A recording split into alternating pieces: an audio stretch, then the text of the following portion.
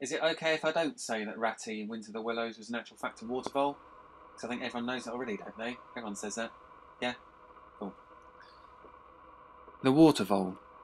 Britain's largest vole species and one of Britain's most charismatic animals, but also one of our fastest declining animals as well. Loss of habitat throughout the mid 1900s, and then during the later 1900s, the introduction of mink took its toll. 1990s, unfortunately, their population decreased by about 90%. But still, one of my favourite animals, and where better can you see them than at the British Wildlife Centre? Not even Cheddar Gorge, Richard. Not even Cheddar Gorge.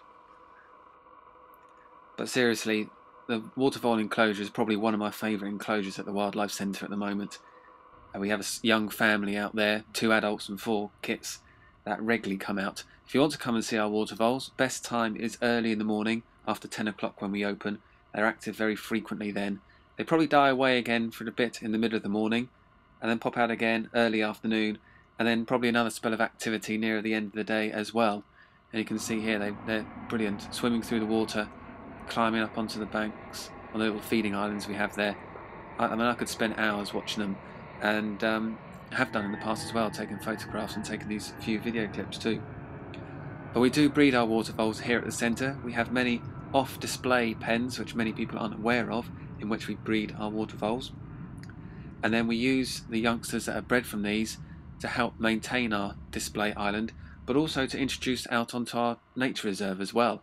And we have reintroduced water vole out there for a few years now. I think this is the third year that we've done it, and they have been regularly spotted as well. And if you do see a water vole out there, you know, do, do come up to one of us and tell us because we like to know, and we actually keep a record of it as well, just to show how successful it is. And look at that hand feeding a water vole. But out in the wild, they would normally eat different types of grasses, reeds, sedges, rushes sometimes, roots, tree bark, anything like this really. What we feed our water vole here at the centre is just a very basic mix of uh, rabbit food, a dried rabbit mix that goes out onto the islands every morning. Fresh apple as well, they love their apple. And certainly in our display islands, they can just help themselves to all the grasses and reeds that grow naturally around that too, and, and they do, and you see them doing that.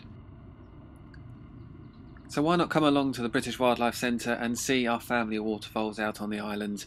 They are brilliant this time of year, really settle in very well, and there is nowhere better to see them.